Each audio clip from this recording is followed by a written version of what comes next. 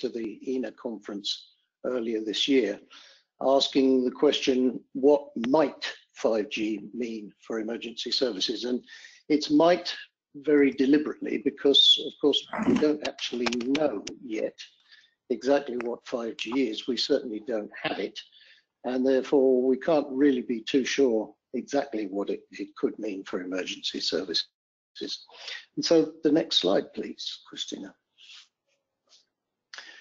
Um, and if I wanted to think of some glib answers about what is 5G, well, of course, it's the next generation after 4G. Um, but it does have some pretty fundamental changes and improvements associated. And we'll be talking much more about those later on, including in Pablo's presentation. Um, what could it do for emergency services or public protection and disaster relief? As I said before, nobody quite knows yet, but definitely the expectation and the hype is growing, not least uh, in the TCCA community and the EENA community, and really anyone who's focused on uh, radio communications for emergency service critical users. Next slide, please, Christina.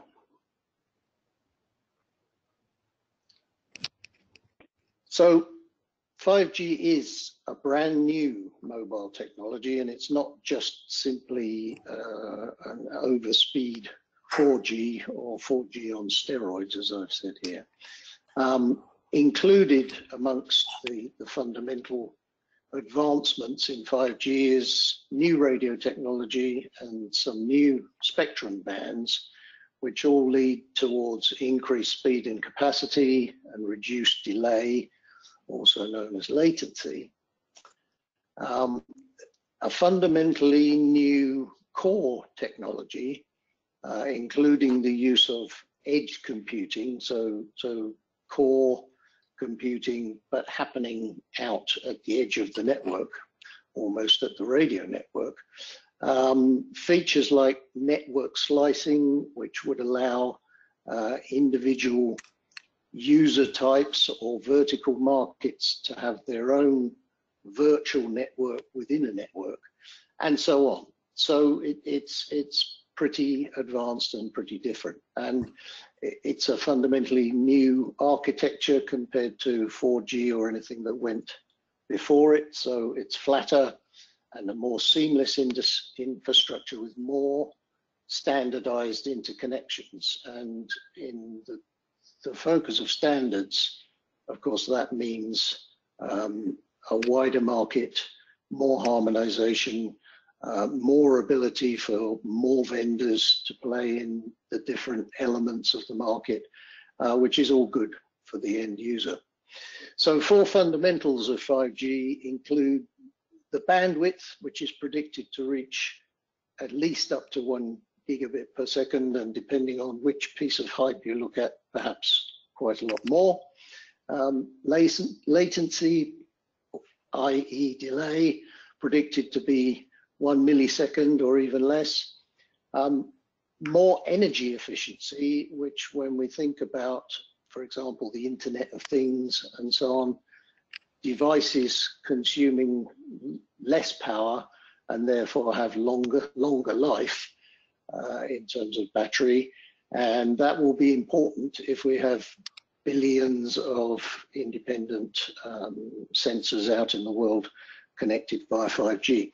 And in that sense, the network capacity of a 5G network will be significantly increased to accommodate those millions and billions of concurrent devices. Next slide, please.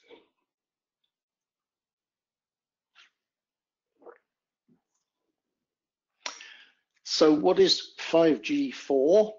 Um, this particular slide uh, I basically stole and it's, it's around the 5G world very much at the moment. It, it comes from ITUR thinking about their IMT 2020, which is the next generation of, uh, of mobile communications usage scenarios. So the, the three pillars of this triangle are enhanced mobile broadband, in other words, faster, quicker, and so on. Um, massive machine type communications, as I was mentioning earlier, Internet of Things, smart city, millions and billions of sensors and devices, all connected concurrently, and ultra reliable and low latency communications, particularly for mission critical applications, um, self-driving cars and the like, which of course must be totally connected all the time because otherwise nasty things might happen. So that's the, the, the core of what IMT, uh, sorry, um, ITUR and, and the rest of the world is thinking might be the, the use case types for 5G. And if we go to the next slide, please.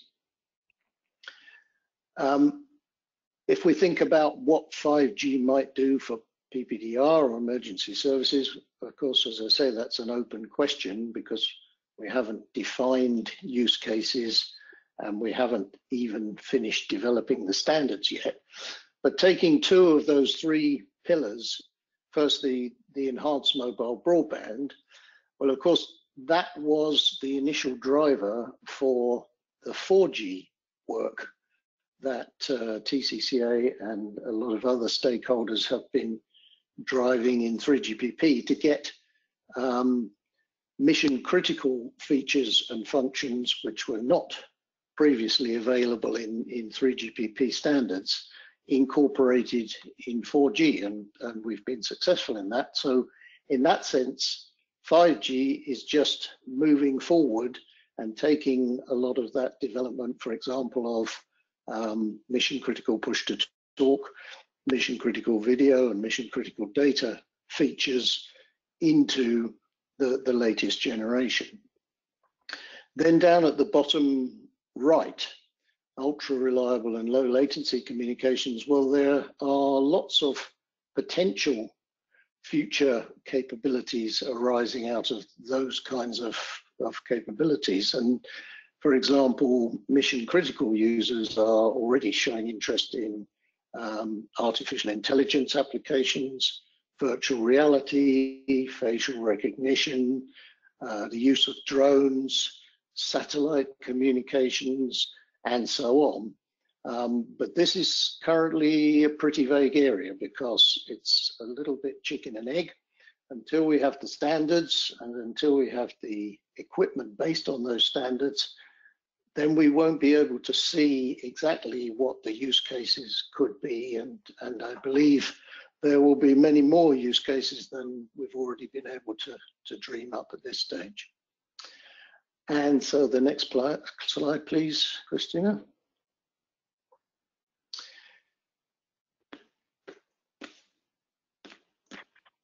So when can we have 5G and should you be waiting for it?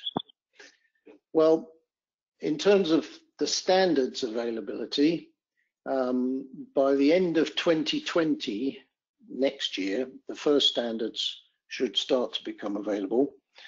Um, on that basis, by somewhere in 2022, we might see the first release of equipment based on those standards. And therefore, projecting forward, maybe around 2025, we might start to see some commercial deployments. Should you wait? Absolutely no, exclamation mark in bold.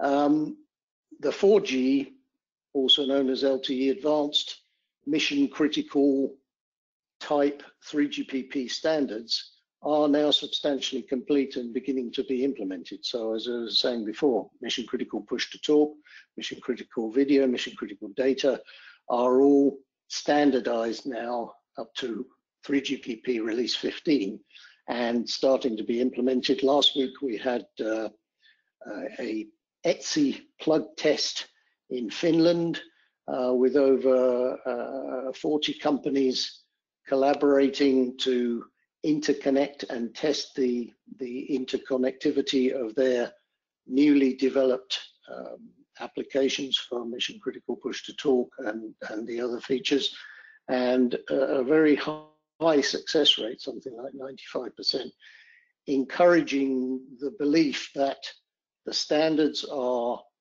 uh, understandable and, and accurately defined and are capable to be translated into uh, different types of applications and equipment.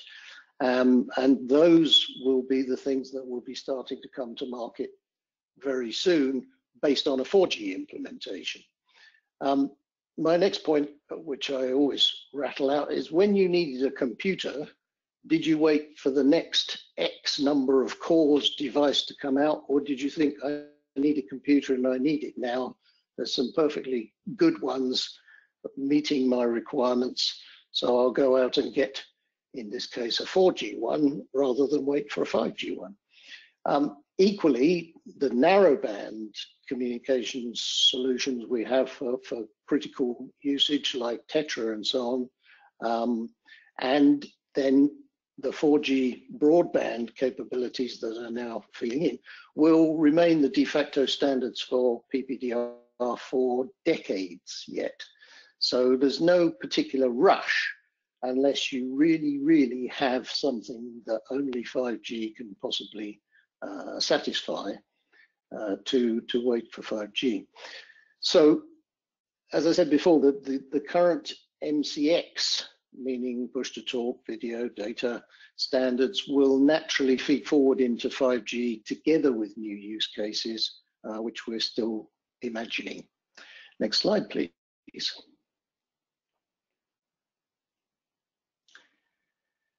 Uh, just a quick note on standards. I've, I've, talked about standards and 3GPP, and 3GPP is the place where where standards for uh, all the Gs are done and are currently working on 5G. So we, we, already have release 15. That was actually formally the first phase of 5G standardization. Um, release 16 is being worked on right now with an aim to, to release it around about the middle of next year. And that's the second phase of 5G standardization. And then we'll go on into release 17 and so on and so on. Um, and the typical release cycle in 3GPP is something like 12 months. So release 17 might be available around about the middle of 21 on these, these timelines.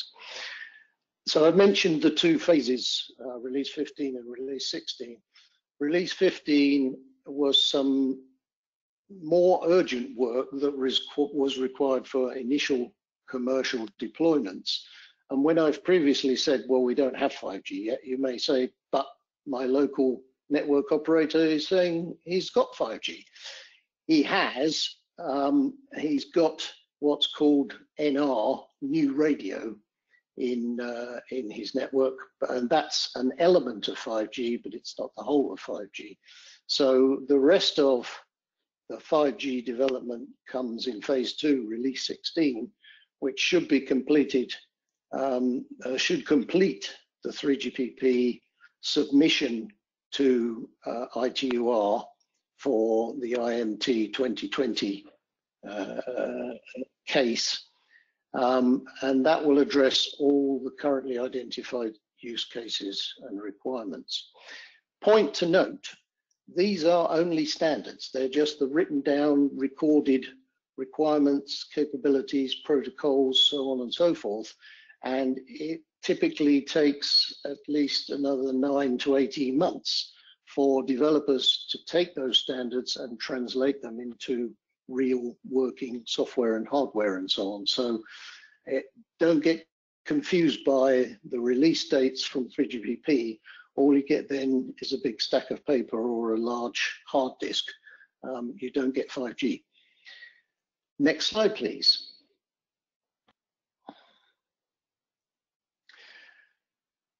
So just to conclude, um, as I mentioned, the timescales around 5G, by the end of 2020, there should be adequate initial standards available for vendors to begin development work.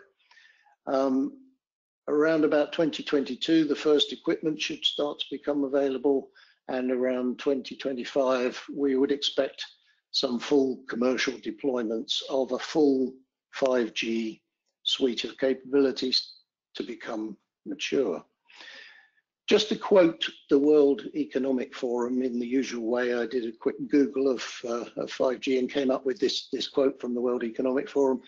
Economists estimate the global economic impact of 5G in new goods and services will reach US dollars 12 trillion by 2035 as 5G moves mobile technology from connecting people to people and information towards connecting people to everything. And indeed, I might extend that by saying connecting everything to everything, because it's not just people anymore. Um, so it may not be here today, but there's little doubt that 5G is the long-term future, and that's certainly TCCA's position. So with that, I'll thank you very much and uh, ask for any questions or comments, unless Christina, you prefer to leave those to the end. Thank you, Tony. No, I think we can uh, take uh, questions right now. So uh, you can uh, just uh, um, unmute yourself and do the question, or you can uh, write it also in in the chat. As you prefer. Nobody has questions. You see, I was so comprehensive, nobody dares to ask me a question.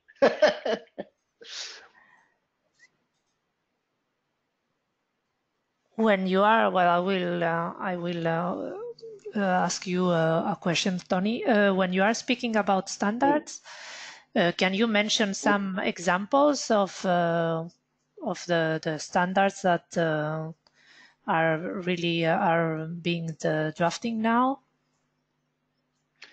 Um, well, 3GPP works in releases and release numbers. So actually, for the past seven years, TCCA and other interested stakeholders have been working in 3GPP for uh, what we currently have in the 4G standards, and that spanned release 12 to the currently available release 15. Um, so if you go right now to the 3GPP website, what you can obtain is release 15 standards. And what's currently being worked on in 3GPP is the next one, release 16. Um, and that, as I said, is expected by mid of next year. Okay, thank you. Somebody has a question.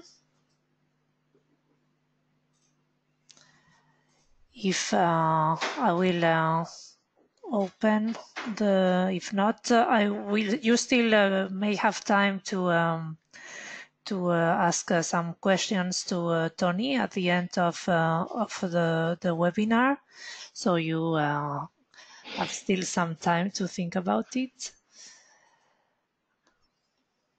Okay, I will um, open Pablo's um,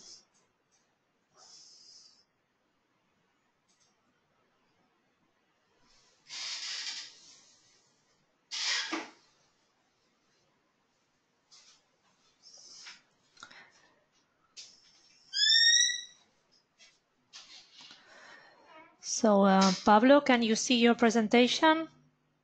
Yes, I can. Okay, so the floor is yours, Pablo. Okay, thank you, Christina. Uh, thanks, uh, Tony, for such a brilliant presentations. Hello to everyone.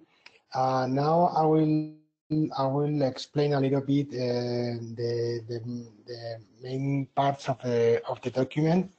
Uh, I will not I will not go very deep in the contents because uh, I don't want to I don't want to um, take you away from the pleasure of reading the document. So I just will uh, explain the, uh, a little bit about the about the, the, the topics. Uh, first of all, I want to uh, thank all the people who, who participate in the in the document. Uh, I think uh, when we first launched the the first version, many people um, send us uh, comments, and I think uh, thank you th thank to these uh, comments, the, the document is is, richer and and the better.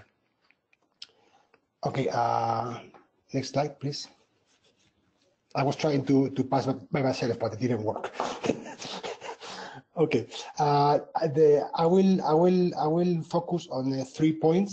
Uh, the the the first point is the is what we call the race for 5G and uh, all the all the uh, things are are happening and are going on around the, the 5G and about uh, all the all these countries uh, fighting to to be the first to have the technology. Then I will focus a little bit on the technical features, but uh, but not too much because uh, Tony already explained this part very good. So so I will not go very deep. And finally, we will talk about the use cases of the 5G technology in the emergency services. Next slide, please.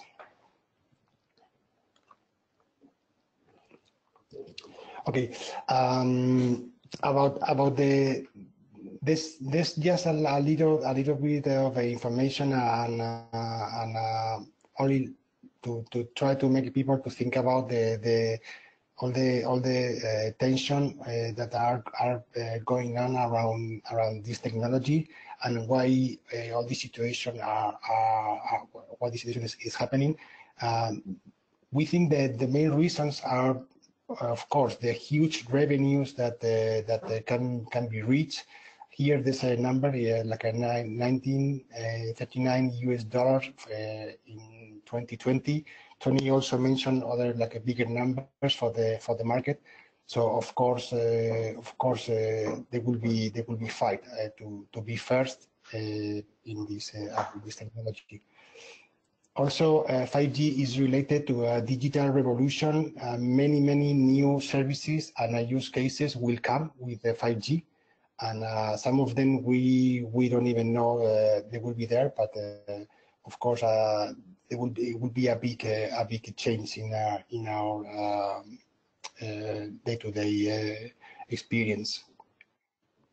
Also, the, how how this conflict has triggered the geopolitical conflicts, as as you may know, China and the United States been they've been uh, accusing themselves of uh, different things, and uh, this this uh, I think this didn't finish yet. We have to to wait to see what what happens uh, with uh, these two countries and many others that uh, that may join this uh, this conflict.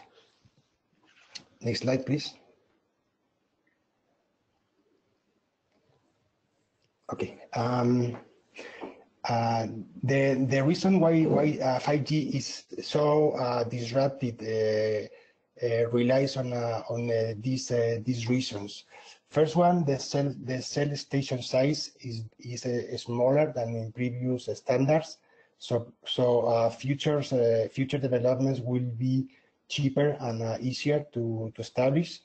Also, uh, is more efficiency about the energy. So our hand, handsets will, will live longer and we can we will be able to use them more more time the latency uh, uh, will be reduced uh, a lot. this means that the, the, the, time we have to wait for the information to come to to travel from, from point A to point B uh, will be reduced and uh, this will introduce many uh, use cases. And also the, the, the connection, connection density will increase. So this is a consequence uh, of the increase of uh, of if we want to increase the the the information we want to we want to share, and we are in a, a environment of a um, growing market. We need to we need to uh, increase the connection density of the of the network. This one, please.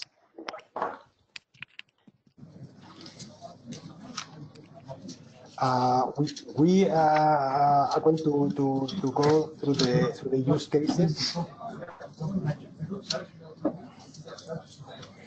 the, uh, when, when talking about the 5G, there are many use cases, but uh, if we want to focus on the, on the emergency services and the emergency um, response, uh, we uh, we would like to. Uh, uh, this a little bit noise. Yes, uh, please, uh, sorry uh, for the interruption. If you can mute yourself, if you are not the speaker, it would be really helpful. Okay, thank you. Thank you. I think, Tony, if you can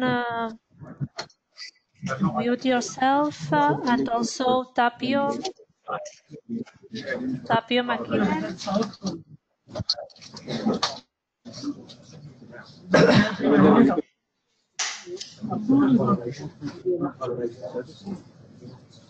Okay, I will, I will, I will get continue. Uh, the, the main, the main, I, I can hardly listen myself. I, I don't know if people can can listen.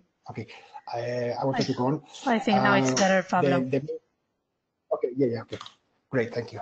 Um, the, the, the, main use cases uh, I would like to underline are, are these in the in the in the on screen. The first one is the uh, intrusion detection and uh, related to the surveillance and the public safety. 5G uh, uh, will will need to be in, integrated and uh, will need to be part of of what we, is being called the Internet of Public Safety Things and uh, and uh, this uh, this network will connect the the the people who is responsible for, for, to take care of our homes and our our our buildings and and give an answer when this with this an alert and 5G should, will be there to be the, the network to connect alerts and the people who, who respond for these alerts. Also, uh, the, the uh, in the traffic control, uh, now, mm, uh, autonomous driving is, uh, is something that we consider belonging to the, to, the, to the present, but in the future, it will be a technology that will grow. And also, we will see how roads can talk to, to the drivers and can give them uh, information to make their, their, their trips safer and also uh, make like a, a, cyclist and other other people uh, safe from the from the cars. So so 5G uh, uh, will be will be there to to, to connect uh, cars, roads, and and people who is who is in the near the near the the roads. Next one, please. Okay. Uh, also, uh, the possibility of uh, connect wearables and drones to the to the 5G networks will be an opportunity to uh, make a, to improve the safety conditions of a people who is working in the emergency. For example, if I can send one drone to to take images of uh, one uh, fire or to or to take uh, pictures of uh, uh, one area is being is being evacuated because of there's a gas then uh, I can I can make a make a safe uh, condition before before the the, the firemen go there to to to do their job. And also uh, the what is related to the health. Um, due to the to the decrease in the in the time of uh, response, we soon will see how uh, uh, hospitals can can um, Mm, give a telecare to the to the people who is in their homes. This is especially interesting for people who live in a, like very far away from the cities, or, or, or people who who cannot uh, cannot move. And they still can, they will still will be able to to visit the doctor and, and maybe even have something called telesurgery, where like uh, one one doctor can uh, can uh, have a surgery uh, using using the 5G network and also managing all this medical data that sometimes can be can be very heavy. Um, a part of these uh, use cases, there's there's many others. I invite you to to read the the document. I would like also to to point the the possibility of uh, of uh, thinking how uh, such a fast uh, network could improve the, the use cases related to the machine learning and the, uh, and the uh, uh, artificial intelligence because uh, as as far as, as I have a one one computer or one center who is able to do this all this computing and a fast network who is able to to move the data, I can I can deploy this uh, service almost everywhere. And uh, I think this is this is all. Uh, thank you everyone for listening. And uh, you have any questions, I will be pleased to answer you. Thank you, uh, Pablo. Uh, let's see if we have uh, some questions.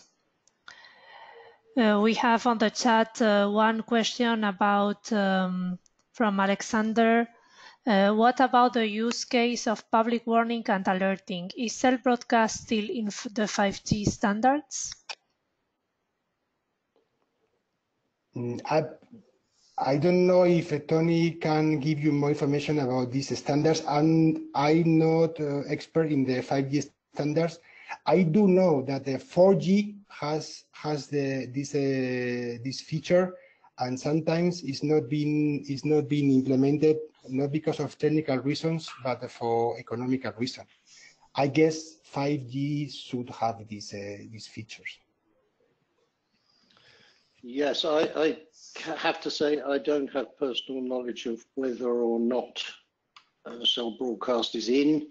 Uh, but as you say, it's in 4G, and many of the useful and used features in 4G are obviously being fed forward into 5G. So if it's the case that cell broadcast is being implemented more widely and is considered to be uh, a useful feature, then I would hope and expect that it should be in 5G, but it's something that, that could be investigated online, I guess if in doubt, Google it.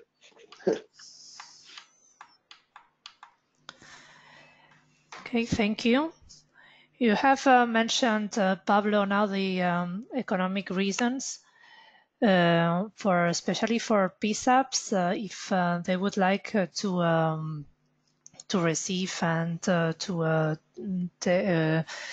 take advantages of the 5G do you think they will have to invest a big amount of money? How, well, Tony or Pablo, how do you see it? Um, I I think the the the the main use that the, that uh, in the I, I, at least in the medium medium term the the, the use that the PSAPs uh, could do for the 5G is related to the to the architecture of the smart cities and connecting to networks that can raise an alert, not really, not necessarily uh, connected uh, or, or raised by, by a human. so I think they will, they will need to, to make an invest, investment, but maybe, maybe not, not very big because they can connect to these, uh, to these uh, sensors, to these uh, alerts little by little. Yeah, and just, excuse me, just to follow on from that, um, I can say that PSAPs are certainly having to create the interface to 4G, and that indeed is being standardized so that for the future, uh, once again, that standardized interconnection bet between PSAPs and, and 5G and future Gs uh, should be there, standardized, and, and it shouldn't be a significant cost consideration for PSAPs to, to connect. Okay, thank you. Any uh, other uh, questions?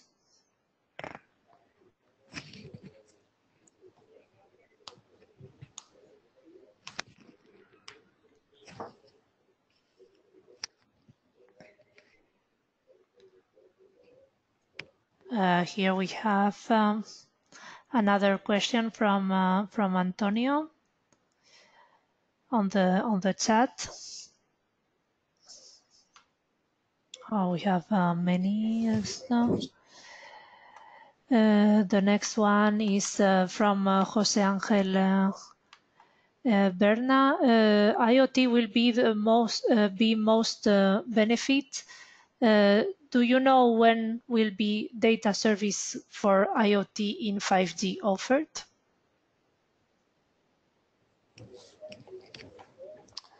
Um, I, I don't know what is what the, what the, Tony has to say about this. I I guess uh, first uh, we we need to we need to see how 5G becomes a, a standard for using, and um, uh, after after this happened, I think we only need to like um, update the sensors because the, the the intelligence behind them is already there.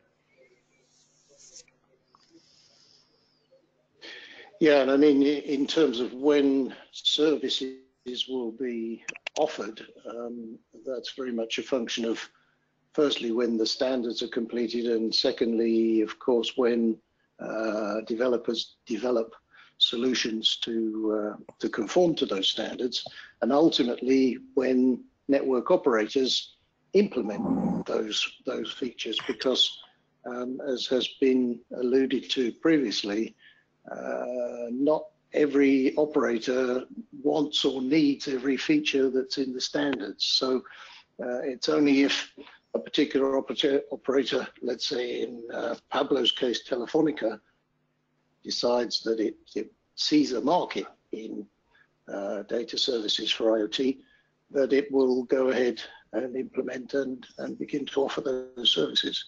So I don't think either of us is in a position to say when. Uh, it's more a case of how the market will develop. I, I also want, would like to, to add something, and is that uh, I think many many um, IoT sensors and many IoT uh, use cases don't need to be 5G uh, because 5G, uh, as we said, uh, is related to the low latency and very high speed. So, for example, if I want to read, uh, I don't know, the the, the electricity bill from uh, from uh, from the machine, I don't need to to have a 5G connection. I can do this every day uh, at a fixed time. So, so I think only a few uh, sensors, only uh, the, these these sensors who are related to the 5G use cases will need to be updated and will need to be deployed. Okay, thank you. Let's go to yeah, the next. Just by the way, yes, to uh, just sorry, Christina, just to reflect back to the previous question about cell broadcast, I took my own advice and Googled it, and uh, none other than Wikipedia says that cell broadcast is a part of the 2G, 3G, 4G, and 5G standards.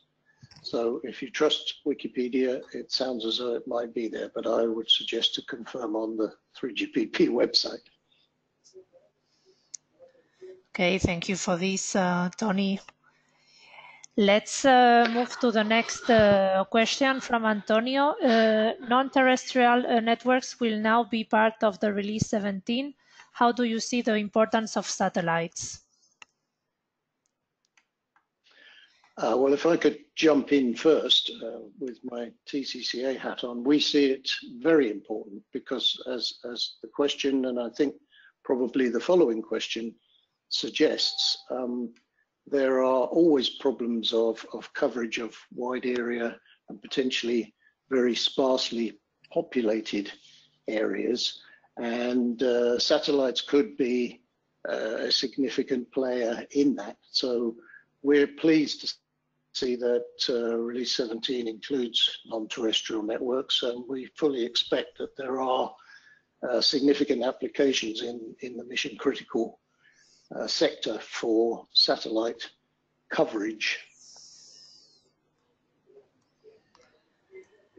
Okay, and then uh, the next question is about uh, coverage. So what about countryside? Knowing that 5G needs a very dense coverage of antenna, how could this be present everywhere, even in places with low people density with such requirements?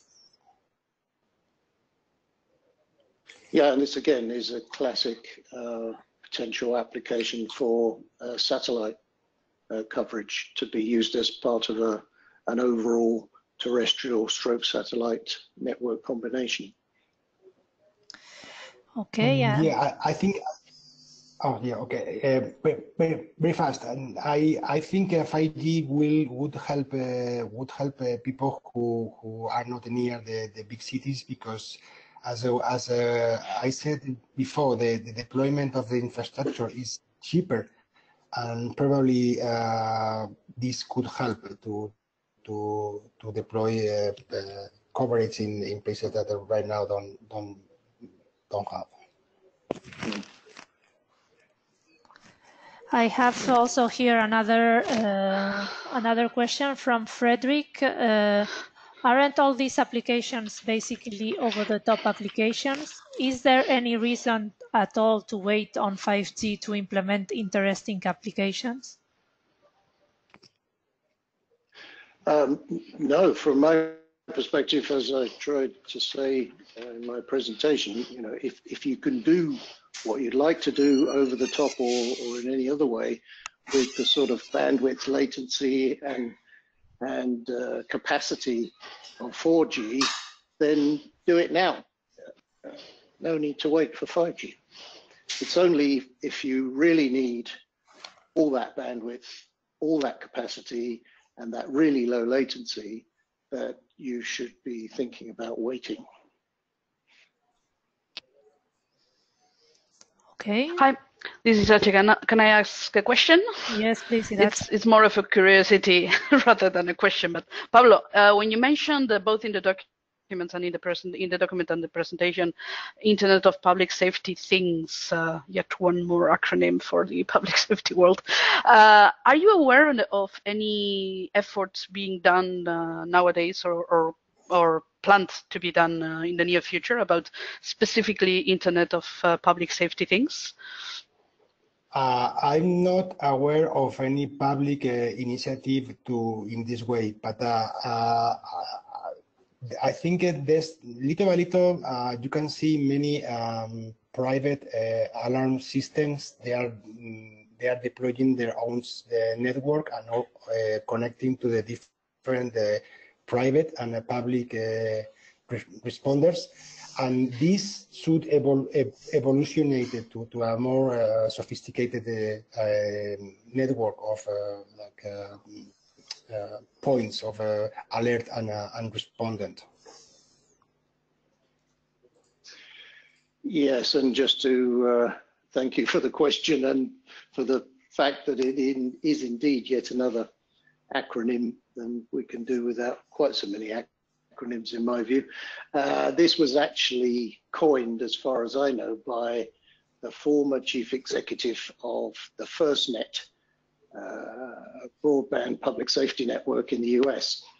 And uh, it's now been cast around by many, many people in, in our sector, but in practice, I'm certainly not aware of any specific Internet of Public Safety Things development going on. I'm sure there will be numerous public safety things um, developed over time, particularly with the, the capabilities of 5G, but they'll be in the wider context of just being more capability for, for public safety and, and first responders rather than under a hat of Internet of Public Safety Things. Thank you. Thank you for your answer. That's what I, I, I expected to hear.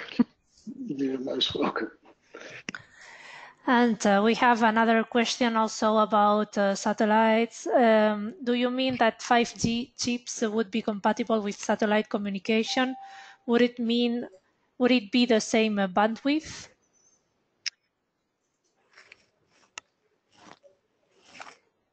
Uh, from a standards perspective, um, essentially no. What the standards will do is take account of the needs of satellite communications, in particularly, I guess, things like latency.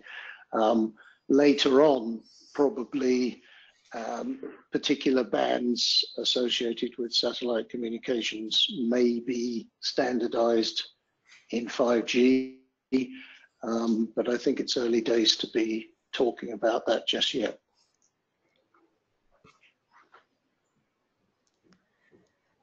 Okay, another. I if you've got any views.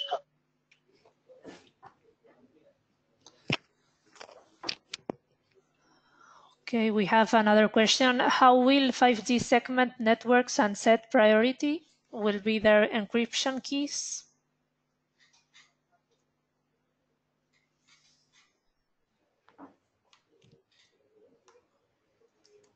I'm going to defer to Pablo on this because it goes way Uh, beyond my I, I, I capabilities. could not, I, I could not hear very, very clear. What was the question? Can you repeat, please?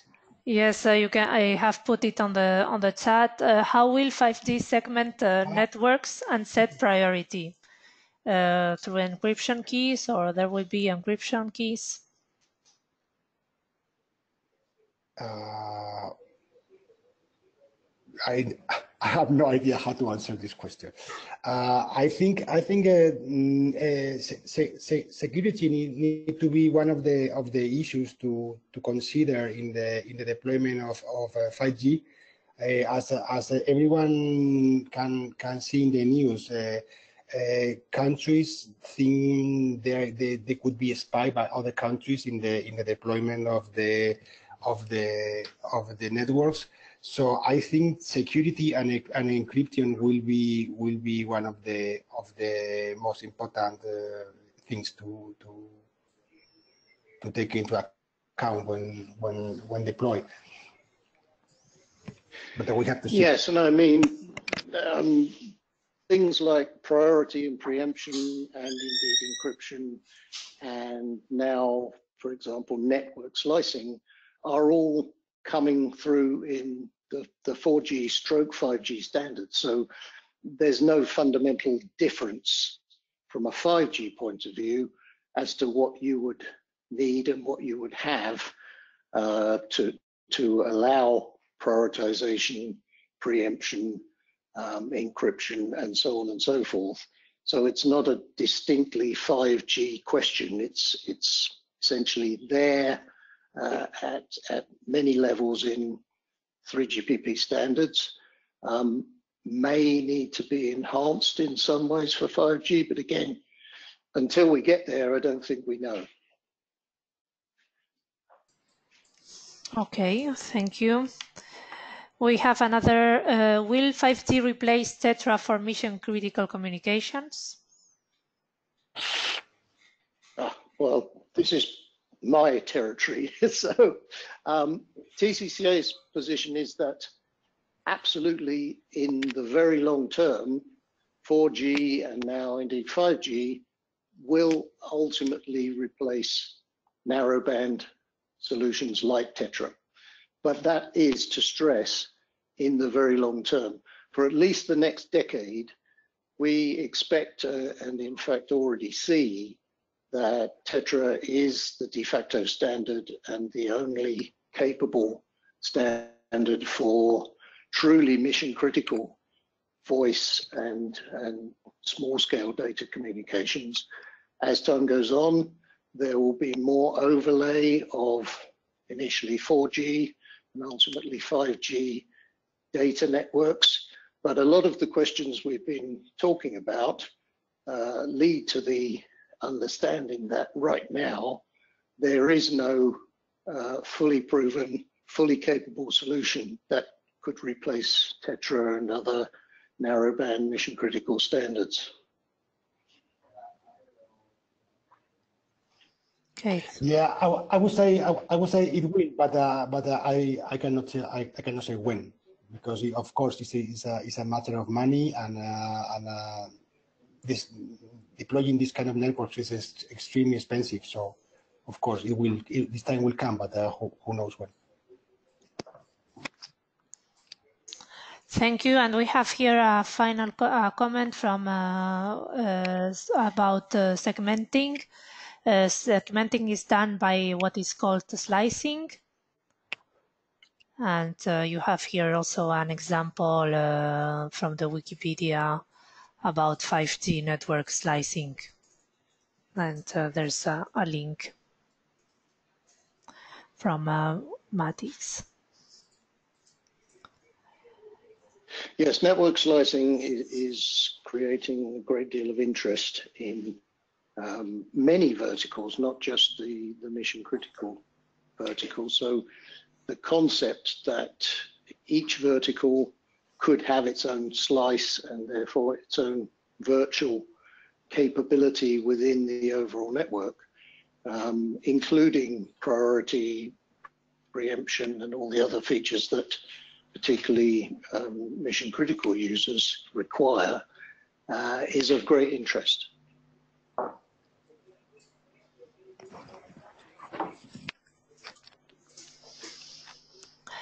I don't see any more questions, so uh, last uh, chance to uh, ask uh, any questions to Tony and Pablo.